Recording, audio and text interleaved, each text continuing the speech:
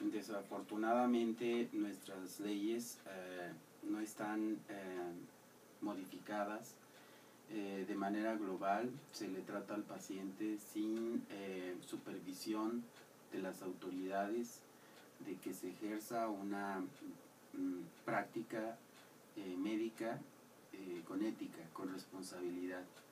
Hablaba yo de esos tres principios, el de autonomía, el de justicia y el de beneficencia.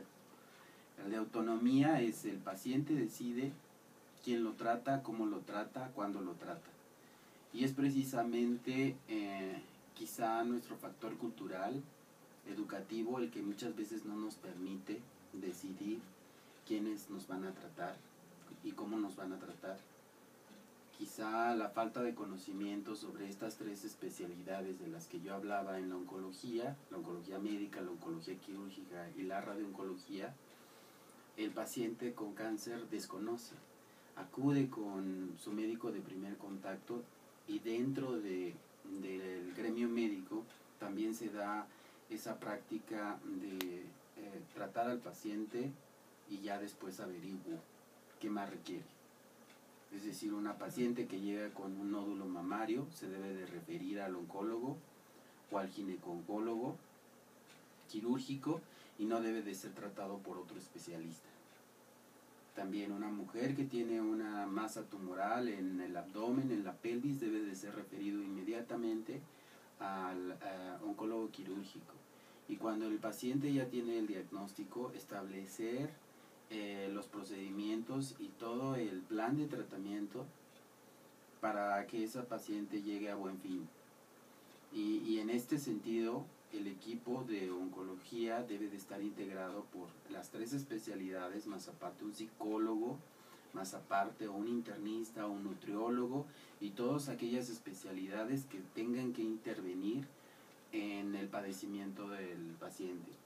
Cuando hablamos de esa autonomía mm, que rige la ética en la oncología, hablamos de que el paciente debe de decidir. ¿Y cómo va a decidir ese paciente quién lo va a tratar si desconoce? Si no está bien informado de qué tipo de, especialista es el que con el que debe acudir. Así es. ¿Cómo va a ser eh, tratado el paciente? El principio de autonomía se pierde si el paciente no sabe y no tiene todo el panorama de cómo se va a abordar su padecimiento. Y pareciera que en, en nuestro país eh, se guarda la información y se le oculta al paciente para establecer bien cuál va a ser el, el, plan de tratamiento. Se le va dando a cuentagotas la información y se le va diciendo, ahora necesita esto, ahora necesita lo otro. Quizá efectivamente no todo el panorama se puede describir en un inicio, pero sí el paciente debe de ser evaluado por un equipo multidisciplinario donde el paciente sepa que la, la, maniobra que se le va a hacer e, es consensuada por un grupo multidisciplinario, que si el paciente va a requerir primero cirugía y después quimioterapia, no va a ser el mismo especialista el que me va a atender.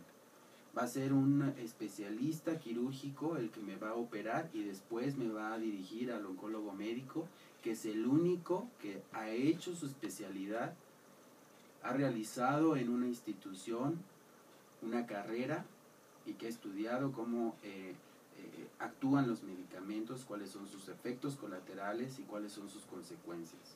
¿Qué pasa cuando es un médico general y que tomó un curso que se ve, se ve, se ve en algunos lugares consultorios en el cual dice médico cirujano general egresado de tal universidad eh, y trata, trata un cáncer de mama, de, de útero, etc. y eh, se maneja oncología, pero que no es oncólogo.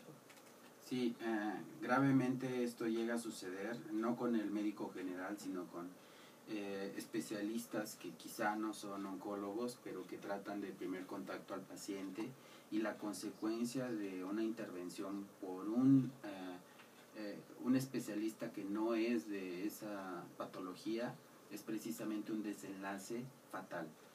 Es eh, una cura que no se dio, es una mutilación o una cirugía mal realizada, mal hecha, eh, quizá una falta de planeación en eh, cuáles son eh, todas las estructuras anatómicas que deben de quitarse y las consecuencias posteriores a ese procedimiento quirúrgico pueden ser fatales, desde secuelas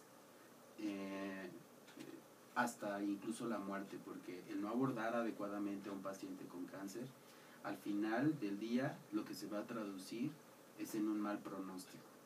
Doctor, hablar de ética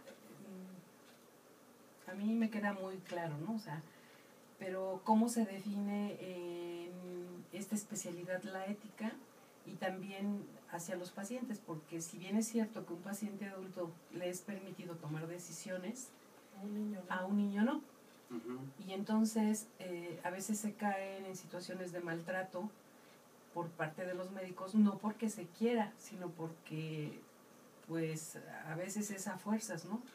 Entonces, por ejemplo, ¿cómo se mediría ahí la ética o cómo se valoraría para respetar eh, los derechos, por ejemplo, de un niño, ¿no? Cuando al niño se le está maltratando porque se le tiene que inyectar o que se le tiene que dar una terapia y los papás están de acuerdo, pero el niño no quiere, por ejemplo, o un paciente que ya está en un estado más avanzado, que está incapacitado para tomar una decisión y entonces a veces sí también es, no es si quieres, es a fuerzas.